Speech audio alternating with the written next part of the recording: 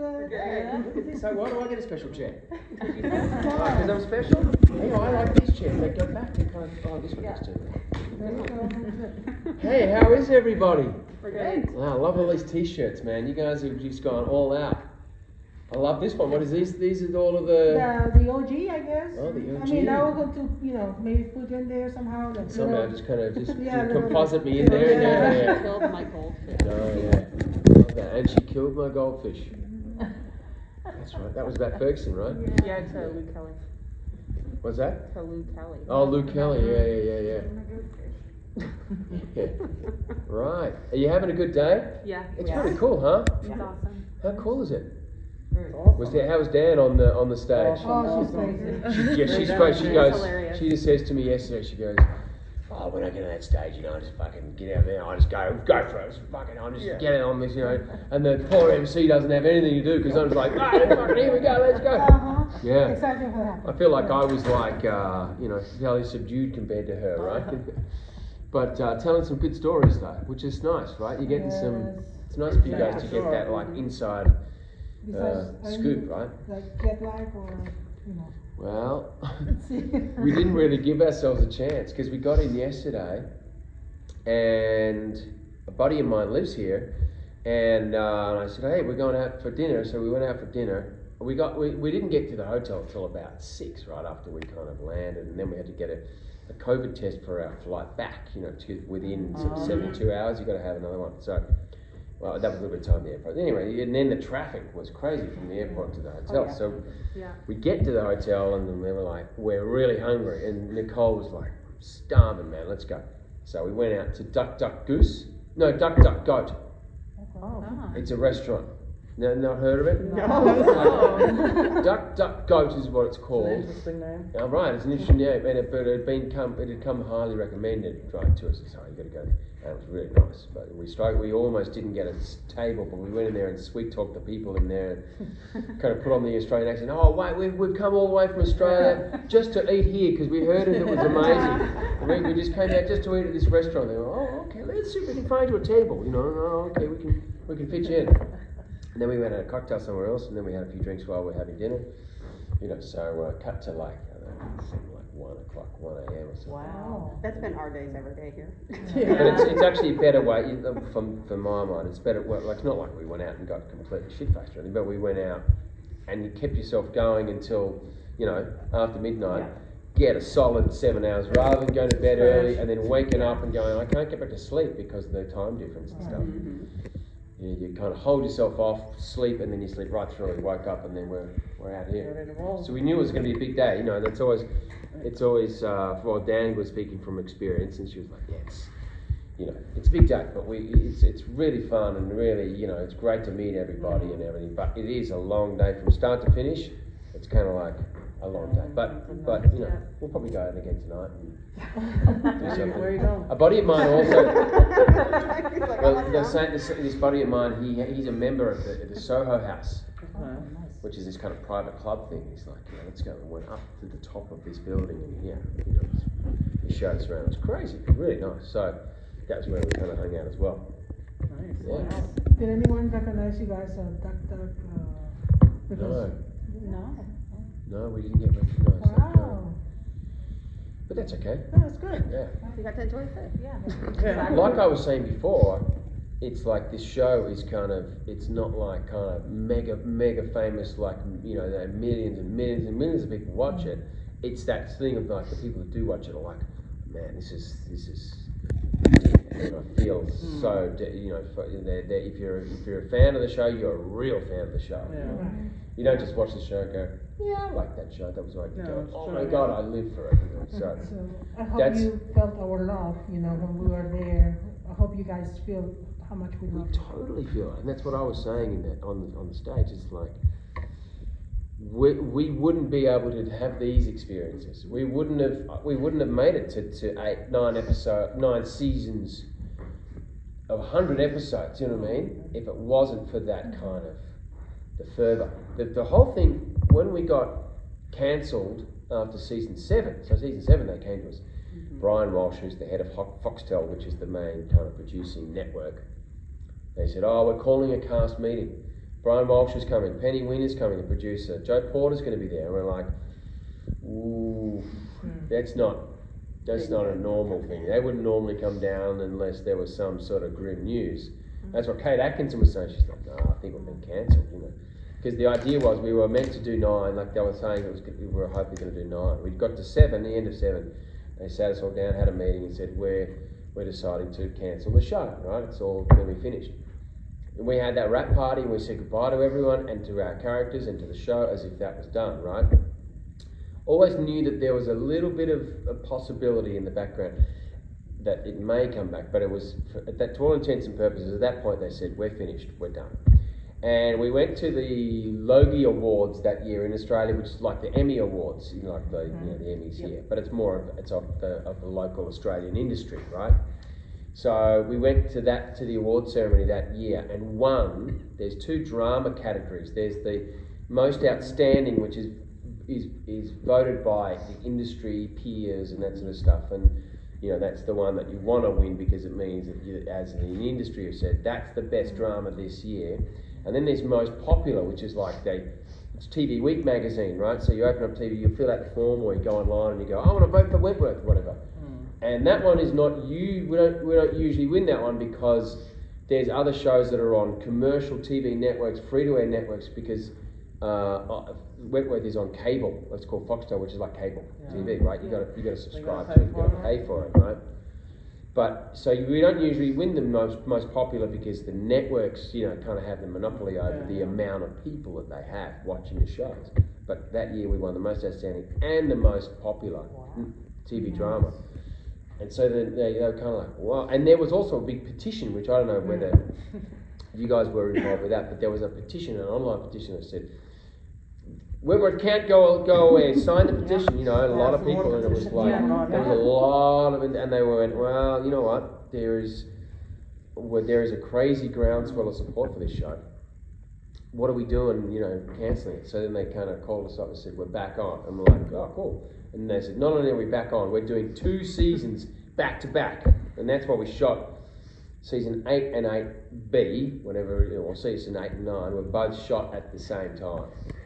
Basically, we're right right through season one, season uh, season, season eight, eight, eight, eight, eight, How come they did that anyway, saying A and B instead of just saying, what was the point of it? You know what the point was?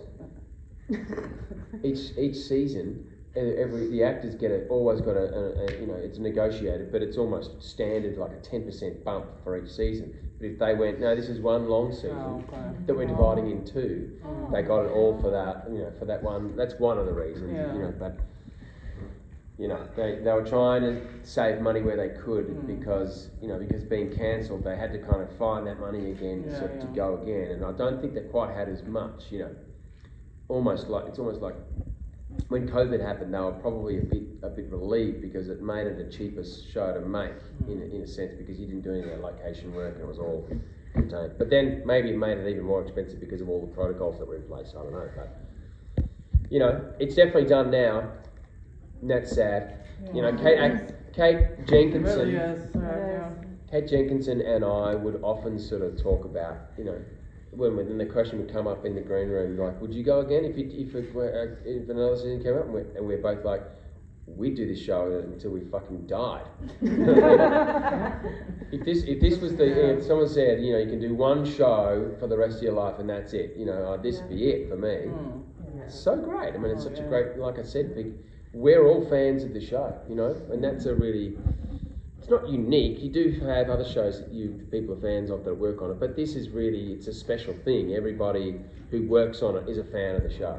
No, for sure. I didn't get into it until like the fifth season. One of my best friends, he was like, "You gotta watch the show. You gotta watch." it." I'm like, "Yeah, I'll get around." Yeah, it." Like, yeah, And then yeah. once I got into it, once Uh, I got, you know, And like, then did you go back to the start? my- Yeah, And then watch it from- first, yeah, yeah, yeah. You can't start at season five. No, right? No, no, no. My husband did. When you came on the show, he started watching it because he didn't see it in the background, and we even went and saw the first con. And then as soon as Jakey, Oh, because yeah. he called, called him, I was like, I'm about to go and see Jakey. Yeah, yeah, yeah, So that was like you kind of went towards the men and the stronger like type of personality. Yeah, yeah. He uses it in your in his classes, teaching English and creative writing and things like that. But Oh, it's always wow. JK. And I'm like, Jakey.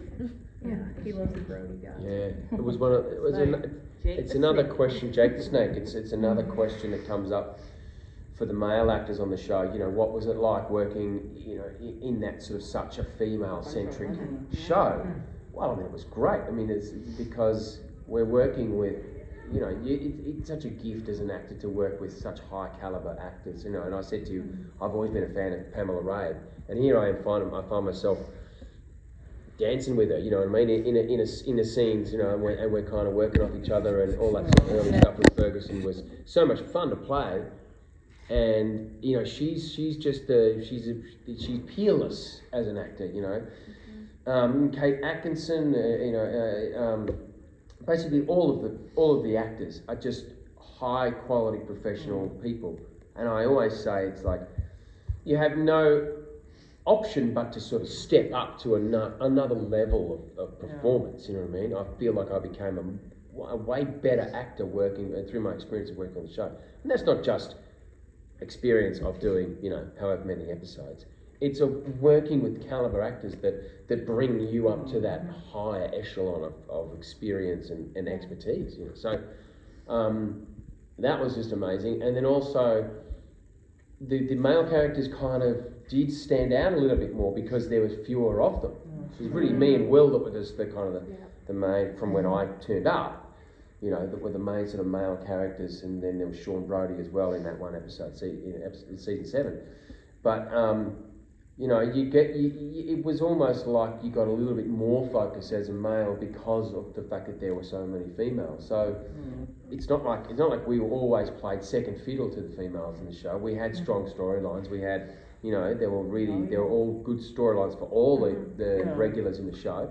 So it was just, and it's also a real a real joy to be to have been part of such a groundbreaking show. You know that mm. people still love and will love for so long. It's one of those shows I think that people. Which of your scenes required the most retakes?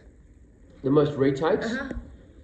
Oh, well, I think I'm throwing uh, Robbie Magasiva under the bus here. messes up a lot. Yeah, right. You've heard that, those stories.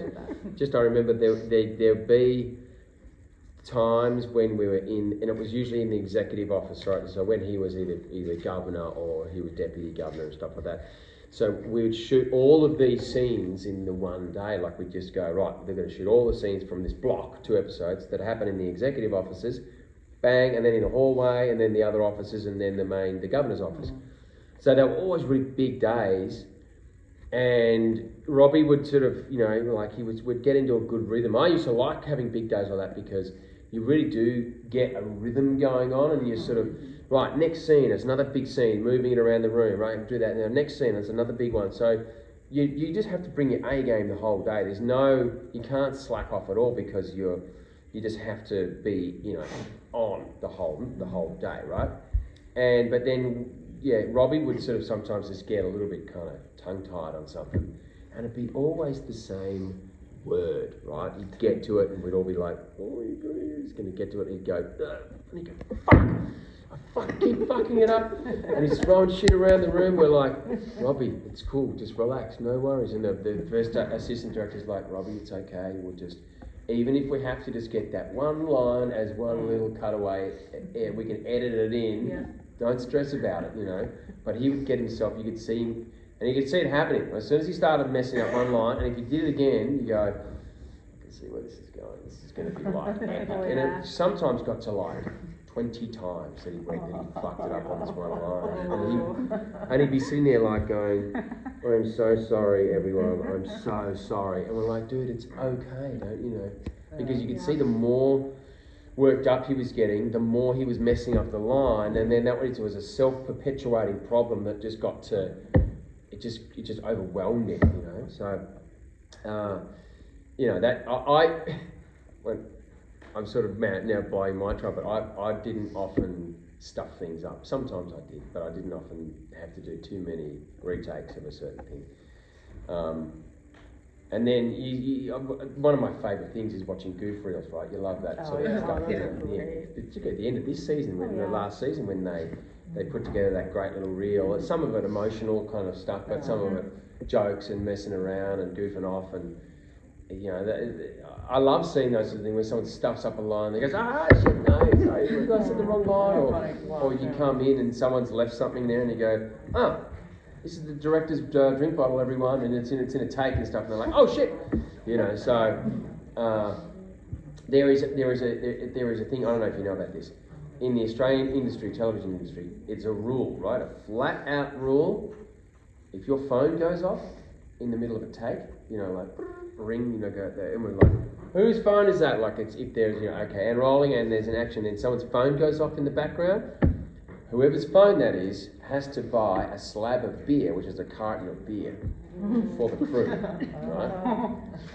It's it's Does a, that it's happen a a, lot? It happens. Well, no, the thing is not not not very often. Oh. Has You it get happened to- to you? It hard, not on this, not on this show, but it has happened to me on other things.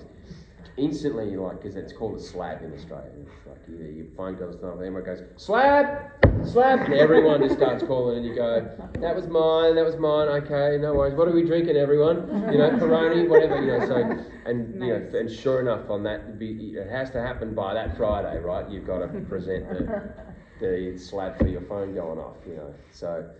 Um, Not worth it.